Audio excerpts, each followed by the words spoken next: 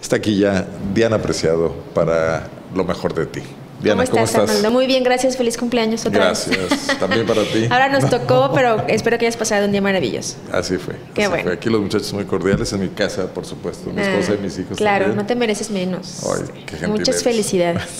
y en Twitter, ahora que es una nueva forma, este año particularmente, te fue más muy bien que en Facebook. claro. Más que en Facebook. Mucha gente felicitándome. Es que yo no pongo en Facebook mi no, cumpleaños. No, no, no.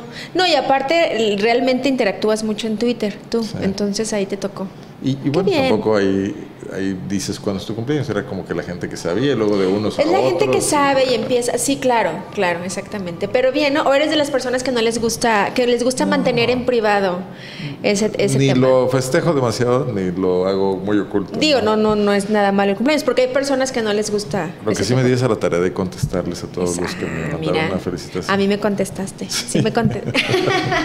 ya en la noche dije. Exacto, no, muy bien, felicidades otra vez. Y yo te preguntaba que si eras de esas personas que les gustaba mantener el cumpleaños en privado para hablar de la imagen pública, lo privado y la congruencia. ¿Cómo ves? ¿Te gusta el tema? Pues suena muy interesante. Suena súper interesante. Muy, interesante. Y hay otro término, aparte. bueno, sobre todo, no solo las personas comunes y corrientes, bueno, que también lo deben hacer. Claro. Pero en el caso de los políticos, esto cobra otra notoriedad. Muchos de ellos dicen, eso es privado, no, no se meta. Exacto. Es, es, es, precisamente por eso. Es una de las frases que yo sí eliminaría completamente de, del, del, digamos, acervo de un político, de un funcionario. Cuando, cuando ellos contestan y responden, esto es un asunto privado es incluso hasta un arma de dos filos, porque ya cuando empiezan a decir eso, incluso ya que se convierte, cuando el asunto es mediático, imagínate, y la opinión pública ya dice, bueno, pero tranquilo, ¿no? O sea, este, ¿hasta qué momento es tan delgada esa línea? Pero primero lo que yo te quiero mencionar, Arnold, es recordar que la imagen pública es la, el recuerdo eh, generalizado que, que se queda en la mente de los demás. ¿Sí? Es decir, ya cuando un grupo tiene realmente una idea, en el, en el eh, colectivo, una idea de alguien, esa es la imagen pública. Así todos tenemos una imagen pública. ¿A tu ¿eh? pesar o porque la trabajaste o porque o te todos, uno, de los axiomas de la imagen es que todos tenemos una imagen, aunque no la hayas trabajado ya, todos tenemos una imagen.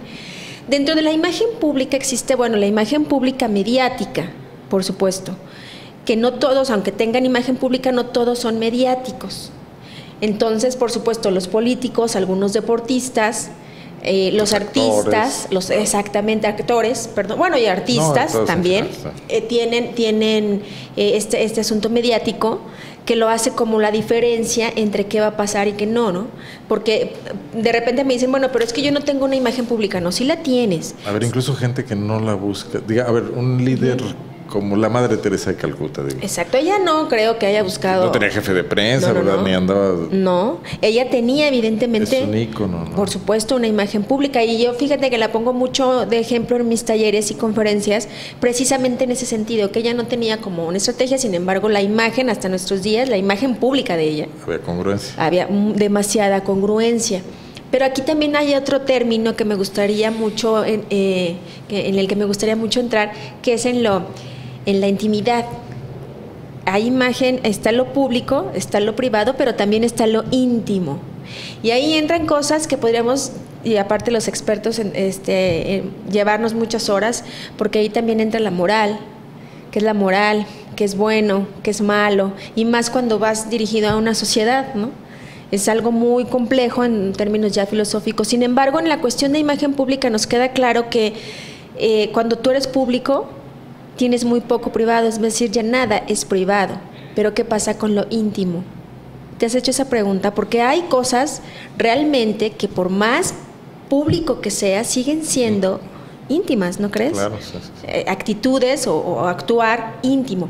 ¿Qué sucede ahí? También, también hay ejemplos, por ejemplo, en comunicadores y en periodistas que tienen que tener, deben... El caso de Ferricecón, que acaba de pasar. que acaba de suceder. Él debe, él debe, debió, debe tener una imagen eh, precisamente pues congruente con lo que siempre ha mencionado. Ese es el asunto. Si él tuviera otro tipo de imagen pública, no defendiendo ciertos valores, quizá no hubiera sido tan grande lo que sucedió, porque entonces él era como congruente. O el padre Marcial Maciel. Exactamente. Bueno, ahí es en donde la incongruencia nos queda perfectamente clara. yo aquí lo que me gusta platicar es esto. Cuando tú eres un personaje público, ya no hay privado. Tienes vida privada, por supuesto que la tienes. Pero la base, lo básico es la congruencia. Cuando empieza ya lo mediático, por supuesto, por ejemplo, a meterse como en lo íntimo, como en el caso de Ferris de Con, en dónde, dónde está la diferencia entre la actitud o lo que hizo, hizo él, sí o no, si no lo hizo, no lo, digo, ¿quién lo puede comprobar? Tal cual, aún los audios, pero, pero ya cuando nos metemos en conductas muy íntimas... No, a él le pegaron en su imagen. Por supuesto. Hubo quien dijo, bueno, esa es su vida privada, que haga lo que quiera. Pero quienes lo consideran a él una autoridad, una voz autorizada porque comparten sus valores o los valores que externaba públicamente en el micrófono, es, es lo que voy, es donde se les quiebra. ¿no? Claro, es, es donde, donde dices, bueno, es que él siempre hablaba de este tipo de valores, evidentemente, siempre, todo el tiempo hablaba de eso y entonces supieron, en, eh, eh, se supo pues eh, de qué manera este, trastocar su imagen, ¿no? Y así sucede con nosotros también. Hay un ejemplo muy cercano que es el del actual presidente de Francia, que también de hecho tiene su imagen pública no tiene muy buenas como números. François Hollande. Ajá, François Hollande. Que lo agarraron ahí en una aventura. Pues aparte de eso, fíjate que la aventura, aquí tenemos la fotografía no vamos a hablar de su imagen. Él no estaba casado, no estaba casado con su compañera. No, él, incluso con la persona que, que, lo, que lo, mm, digamos, lo descubren ahorita, él tenía nueve años con ella. Nueve años. Era su compañera de vida. Era su, exactamente, era su compañera. Sentimental, Exacto, su pareja sentimental. Sin embargo, bueno, se dice que por ahí una mujer despechada es la peor de las armas para un hombre. Suena medio sexista. ¿Verdad que sí? ¿Qué harán los hombres despechados? Porque también, hay, ¿verdad que sí? Entonces, ahí el asunto es que ella escribe un libro. Bueno. Ajá. Puede ser una mujer despechada, pero también puede dar querer dar a conocer su versión de las cosas. Claro, por supuesto, es quizá lo que, lo que me maneja mediáticamente, ¿verdad? El asunto es que lo que he leído, la reseña del libro, pues no, lo, que manejan los medios de comunicación es que lo que sucede es que ella habla de lo que vivió con él, sí, e, evidentemente no habla de ningún secreto de Estado, no dice nada aparentemente hablando del Estado, pero habla de cosas que ella escuchaba que por supuesto sí dañan mucho su imagen, como no sé si, leíste que habla él eh, de, la, de la clase de los pobres, incluso él les dice los desdentados es un término que realmente... Siendo un político socialista. Siendo un político, imagínate, además socialista, en donde dice, no me gustan los pobres, pero tampoco los ricos, pero tampoco me gustan los desdentados, y que todo el tiempo les decía de esa manera. Entonces, cosas como esas son las que dices, ok, ahí ya sí parece un ataque político. Por supuesto, por supuesto que lo es. Para minar su credibilidad. Por supuesto que lo es. Pero aparte es cuando, esta parte de lo íntimo, porque eso es lo vendible, ¿no? Porque aparentemente habla la, la, la, expareja y esta parte que, que, es como muy vendible, como muy al morbo. ¿Estás de acuerdo conmigo? Que esas son las, la, parte en donde es una línea muy delgada, pero sí la incongruencia, ¿no? El, el, el hecho de meternos ya en sus conversaciones privadas, es cuando él ya decía, les decía así a los pobres, bueno, la imagen vendrá en detrimento, ¿no? También por ahí hay un reciente Sus caso. Votantes, sobre todo. Claro, por supuesto. De un deportista, que también los deportistas son personas, son líderes de opinión también, y hemos hablado mucho. Tienen ídolos deportivos. Son sus ídolos, son sus ídolos, y, y, hemos hablado mucho de la congruencia que ellos deben manejar en toda su imagen, no nada más en su imagen personal, sino en su imagen integral y en la imagen pública. Y el reciente caso es Oribe Peralta, sí, estoy, sí corrígeme si no, cuando eh, eh, dos, dos mujeres lo extorsionan, aparentemente, mira, aquí tenemos la fotografía, eh, lo extorsionan para no mostrar ciertas fotografías. Yo no las he visto, creo que finalmente no se mostraron esas fotografías, pero él las denuncia a las chicas y, y denuncia que le pidieron una cierta cantidad por las fotografías. ¿Qué fotografías serían? ¿No? Eh, ¿De qué fotografías estarían hablando? Bueno, si él se atreve a denunciar seguramente es porque está seguro que no hay nada que pueda dañarlo. ¿O tú qué opinas? No, porque a lo mejor es denuncia para minimizar el daño. Para minimizar. Y aparte Existen también... las fotografías, pero la, denuncia por extorsión y las, la aparición de las fotografías comprobaría... Comprobaría la extorsión. por supuesto. Y entonces ahí ya iría... Es, exactamente, podría ir en, ese, en, esos, en esas dos vertientes. Si no existiera nada, no le haría caso. Ni siquiera... Y aparte porque él sabe que... El delito es difamación nada más. Difamación. Y aparte si lo dice, ya todo el mundo empezamos... Tienes toda la razón. Ya todo el mundo empezamos a, a pensar qué sucedió, qué hizo y qué no. Entonces, otra vez, es un deportista que debe cuidar mucho su imagen, porque ahí viene la imagen institucional, de, en este caso la selección o el equipo de fútbol en donde juegue. De irse a la América, acaba de irse a la América. Y aparte todo lo que le están pagando. Entonces, lo que tú hagas en lo privado puede venir en deprimento, pero por supuesto en tu imagen pública porque pueden incluso si, si sucede que, que, se compruebe y que la opinión pública no esté de acuerdo con su actuar moralmente hablando, que es tan difícil hablar de moral, que no esté de acuerdo en esto, el contrato se le viene bajo.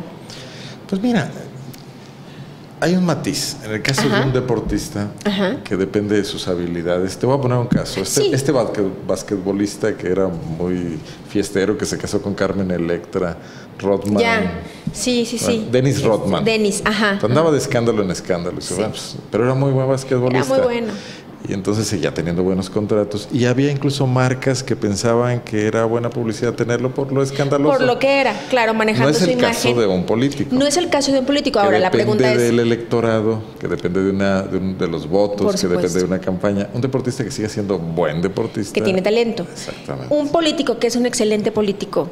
A ver, el caso, por ejemplo... ¿Podrá salvar esto? No, un excelente, no, no, porque los políticos, la gente no valora en un político que sea buen político, porque nadie entiende qué es la política, Ni siquiera, la toma de decisiones, eso. Estoy de acuerdo. Entiende la popularidad, la imagen. Estoy de acuerdo. Pues cuando sucedió con Obama, ¿te acuerdas que hablamos aquí de la fotografía que parecía, ¿te acuerdas de la selfie y todo esto? Que no, no, no se comprobó absolutamente nada, pero tan solo ese hecho ese hecho ya. un deportista cada semana, cada ocho días, cada vez que juega está yendo a probar sus habilidades. Y un político no es el caso, tiene un cuerpo de asesores, las decisiones las toma un entorno, si es un político importante, el presidente de un país, etcétera. Por eso es tan vulnerable, ¿no? Es como la, el mascarón de prueba de un equipo. por eso es importante su imagen. Muy importante. Puede haber mil gentes tomando decisiones por él, pero él construye. Pero él es, él es el que la construye. Sí, exactamente. En el caso del deportista, ahí solamente es él y listo. A ver, un caso. ¿Como el de, de políticos? No. De, Cuando un político o un deportista deciden salir del closet y dicen, soy gay, ¿no? Ha pasado. En el fútbol americano este, que lo valoran muchísimo. Sí. ¿no? Se sigue. Y políticos muy poco hasta ahora. ¿eh? ¿Hay políticos que han salido del closet? El alcalde de Berlín. Que está más compitiendo o va a competir o es precandidato a ser eh, presidente de la República Alemana. Claro, y está, pero estamos hablando de eh, Europa, ¿no? De Berlín. de Berlín. Exactamente. ¿Qué pasaría acá, no? En, en, Todavía es nuestra sociedad es algo muy complicado pero depende, depende también ante quién, qué votantes estaría buscando. No, los deportistas que lo han hecho es en Estados Unidos, algún tenista. Donde claro, donde el tema, el tema público es realmente ya una sociedad mucho, mucho, mucho, muy diferente a la nuestra. Y aún así debe costar trabajo. Mucho trabajo. A los artistas les cuesta trabajo, yo creo que miden mucho, por ejemplo, ¿no? Eh, a, los, a los actores. Miden si lo digo o no lo digo. Si lo digo, voy a... perder popularidad. Pero, pero ganan mucha popularidad en otros. De Rock Hudson. Rod Hudson. ¿Qué pasó con Ricky Martin, por ejemplo? Fíjate que lo hizo muy bien. Porque lo hizo muy bien y además, seguramente estratégicamente supo a quién iba dirigida. popularidad después de eso? Bien. O sea, realmente él sigue siendo. Sí hubo un tiempo, se habló mucho de su imagen pública y las bromas y todo esto, pero sin embargo. los hijos y su pareja. Y hablamos otra vez de talento. Claro. Hablamos otra vez de talento, pero tienes toda la razón. En un político, eh, la calificación de un político es tan subjetiva y tiene mucho que ver con la proyección y lo que se ve.